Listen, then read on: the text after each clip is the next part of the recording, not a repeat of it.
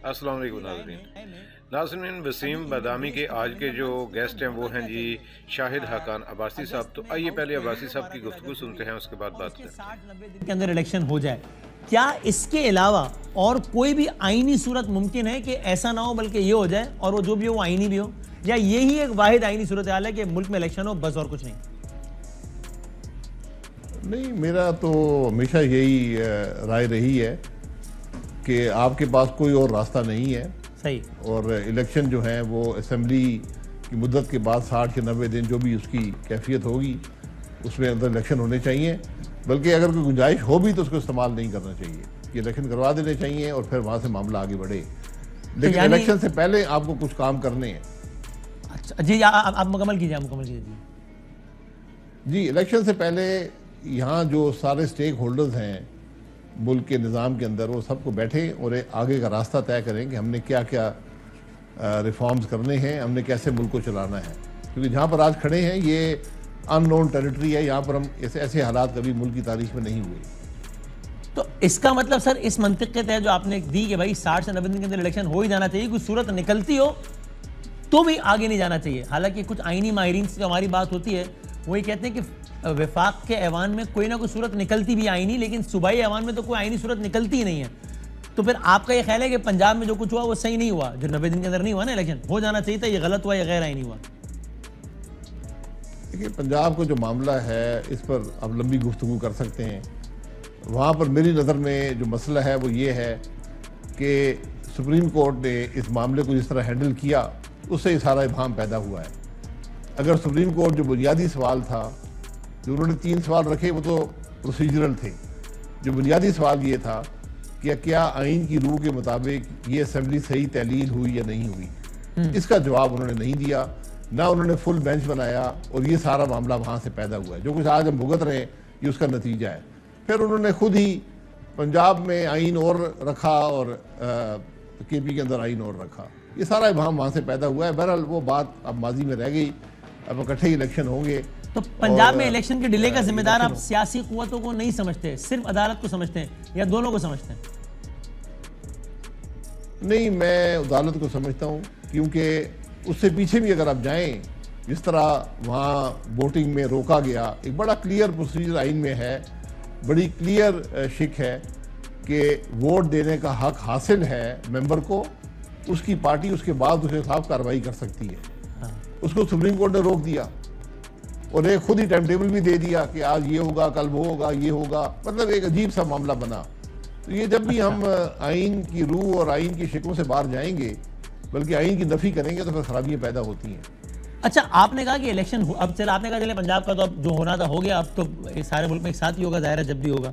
और आप कह रहे हैं हो जाना चाहिए साठ से नब्बे दिन के अंदर उससे पहले रिफॉर्म्स और कुछ चीज़ें होनी चाहिए। ये तो बेस्ट है ये तो आइडियल अगर ऐसा हो जाए। फ़र्ज़ करें बावजूद ऐसा नहीं हो सकता मैं मैं कह रहा हूँ अगर किसी वैसे ये नहीं हो सकता तो फिर जब तक ये सारी चीज़ें ना हो जाए तब तक इलेक्शन नहीं होना चाहिए या फिर भी इलेक्शन तो हो ही जाना चाहिए भाई। रिफॉर्म्स करके हो जाए तो बहुत अच्छी बात है लेकिन ना भी हो तो इलेक्शन तो फिर भी हो जाना चाहिए। ताखिर का जवाब नहीं है। नहीं ये रिफॉर्म का एजेंडा तय कर लें। हाँ। आगे का एजेंडा तय कर लें कि हम हमने क्या करना है। तमाम इसमें पॉलिटिकल बाई इन हो तमाम पार्टियाँ शामिल हों और फिर उस प्रोसेस को सपोर्ट जो भी इलेक्शन में जीतता है उस प्रोसेस को सपोर्ट किया जाए। ये आज मुल्क की ज़रूरत है। ये अगर आप नहीं करेंगे इलेक्शन तो फिर भी होगा।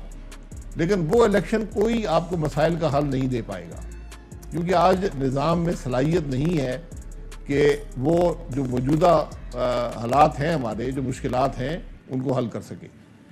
एक जो शुनीद है, एक बाजगश्त है, आपके ख्याल में ये, चूँकि आपका ज़ाहिर है, आप ताकत के, सियासत के अवानों के बहुत ही रेलिवेंट खिलाड़ी रहे वजी अजम रहे, और आप ज़ाहिर इकोनॉमी उस पर भी बहुत एक अबूर रखते हैं तो आप बताइए कि सियासी और मुआशी एतबार से कोई भी ऐसी चीज़ जिसके तहत ऐसा हो कि जनाब एक सेटअप आए, वो निगरान सेटअप हो या टेक्नोक्रेट सेटअप कह लें, जो भी कह लें तवील अरसे के लिए, साल, दो साल।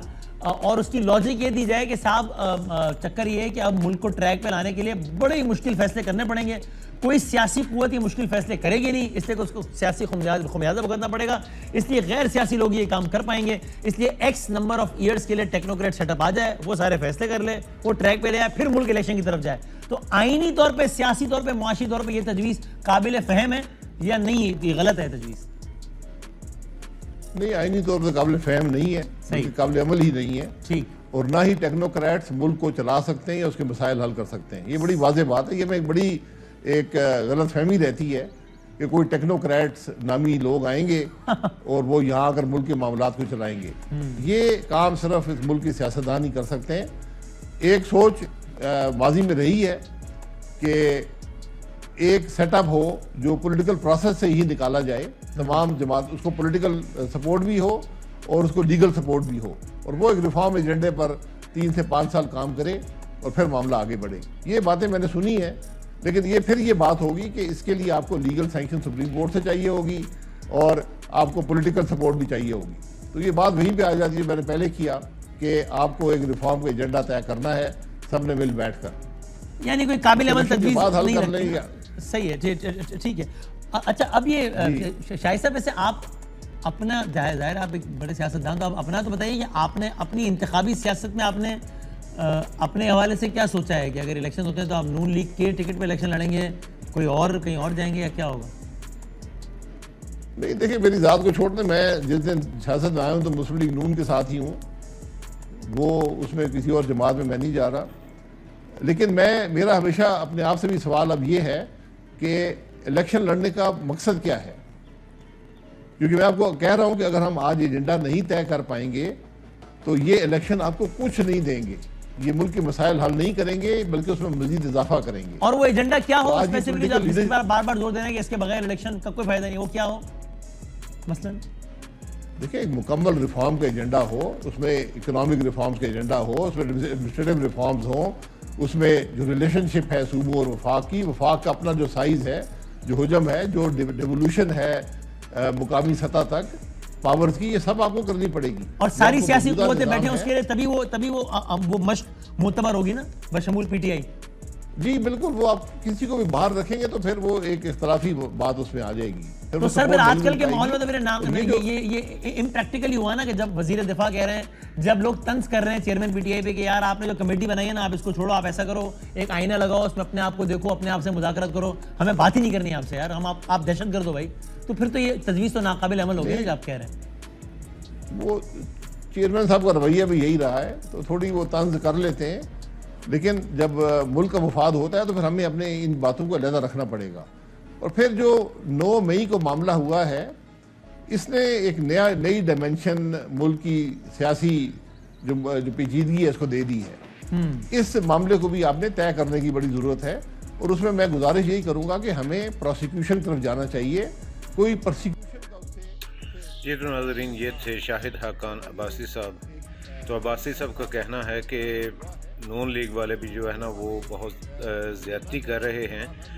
लेकिन इस हद तक बंदे को जाना नहीं चाहिए। जिस हद तक ये तो कोई बदला लेने की जो है ना, वो ठानी बैठे हैं और कसूर हो या ना हो, बंदों को पकड़ रहे हैं और अंदर कर रहे हैं, ये कोई तरीका नहीं है।